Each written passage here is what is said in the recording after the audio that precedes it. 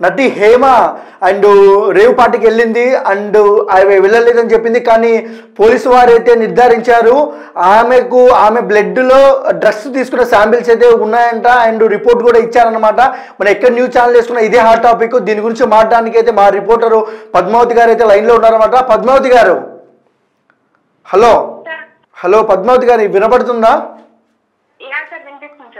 First of all ఏంటంటే నటి హేమ గారు వెళ్ళలేదని అయితే వీడియో అయితే పోస్ట్ చేస్తున్నారు అనమాట కానీ బెంగళూరు పోలీస్ వాళ్ళు అయితే నటి హేమ అయితే పక్కా ఉంది అని అయితే చెప్తున్నారు. దానికి మీరేమంటారు? సార్ ఆమె ఒక్కొక్కసారి ఒక్కొక్కలా మాట్లాడుతుంది. ఆమె చిన్నపిల్లలా బిహేవ్ చేస్తుంది అన్నట్టు అయితే చెప్తున్నారు. అంటే అన్మెచ్యూర్డ్ బిహేవియర్ అయితే చూపిస్తుంది అని అంటున్నారు. ఇటీవల జరిగింది బెంగళూరు రేవ్ పార్టీకి సంబంధించిన విషయాలు అయితే వెలుగులోకి వస్తున్నాయి. పోలీసులు కూడా ఈ కేసుకు సంబంధించి దర్యాప్తులు అయితే వేగవంతంగా చేస్తున్నారు.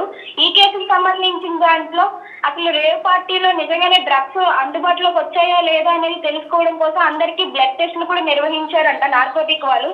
ఇందులో నూట యాభై మందికి పైగానే వాళ్ళకి బ్లడ్ టెస్టులు చేసినట్టు తెలియజేస్తున్నారు. అందులో యాభై ఆరు మందికి డ్రగ్స్ పాజిటివ్ అని వచ్చిందంట. అందులో ఎనభై ఆరు మందికి యువతలు అండ్ యాభై ఏడు మంది యువకులు ఉన్నట్లు పోలీసులు గుర్తు చేస్తున్నారు. అందులో ఇందులో మరి ముఖ్యంగా తెలి తెలుసుకోవాలి అంటే గనక నటి హేమ రక్తంలో కూడా బ్లడ్ టెస్ట్లో కూడా వచ్చిందని చెప్తున్నారు. పాజిటివ్ అనేది. మరి ఆమె బ్లడ్ టెస్ట్లో కూడా వచ్చిన తర్వాత కూడా ఆమె నాకు రాలేదు నేను వెళ్ళలేదు రేవు పార్టీకి నేను అసలు అక్కడ లేను ఇక్కడే ఉన్నాను అంటూ ఆమె అయితే మాట్లాడుతుంది. అసలు ఈ మాటల మీద ఏమంటున్నారు అంటే ఆమె ఒక అన్మెచ్యూర్డ్ బిహేవియర్ అయితే క్రియేట్ చేస్తుంది ఇక్కడ ఈ విషయంలో అంటున్నారు. మరి చూడాలి మరి ఆమె మాటల్లో ఇంకెంత వరకు ఉందో కూడా.